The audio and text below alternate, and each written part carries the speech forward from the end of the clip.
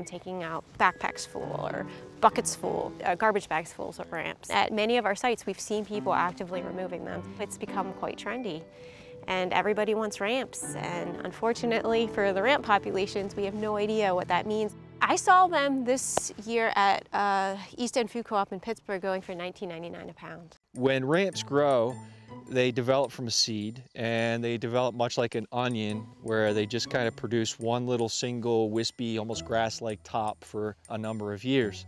So the first thing is obvious maybe at a site like this, which is pe people should not be digging ramps unless there's a lot of them. Because, you know, while they're a wild onion, they're a bit unusual in the sense that they take many years to develop from seed. So typically when a seed germinates for a ramp, you're looking at maybe three to as many as seven years for it to reach anything that then starts to clone itself. And that's basically a size for harvesting. It takes typically about 10 years to recover from a 10% removal. They can reproduce sexually by producing flowers and seed, or they can produce asexually by bulb division, right?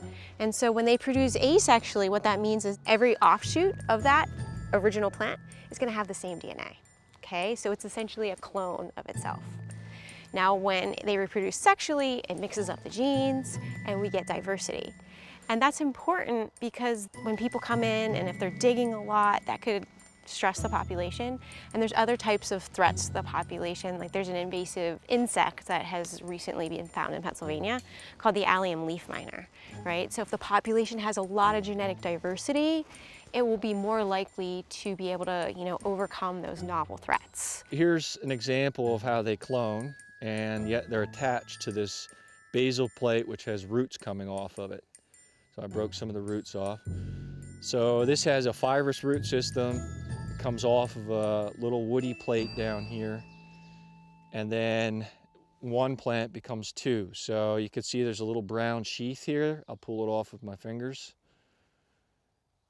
That's the remnants of what used to be the leaf sheath when these plants were maybe one plant, right? So it divides. What'll happen is like this one's getting so big that it's starting to form probably, it takes a couple of years for this to fully happen. It's forming a partition or a wall in there as it's starting to kind of make two plants. You should never be harvesting individual plants in my opinion. You should always be looking for those nice clumps and then you should be thinking about just removing a couple of the bulbs from that clump. And that's, you know, sustainability 101, right? So you're taking one and you're maybe leaving two behind on that plate.